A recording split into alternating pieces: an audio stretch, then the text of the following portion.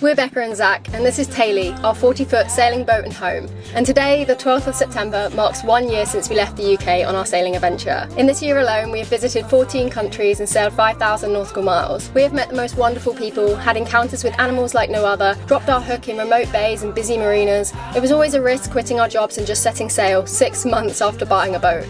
But this year has been the best year of my life. If you're waiting for a gentle push to also go after your dream, please take this as it. It might not always be easy, but it's always worth it.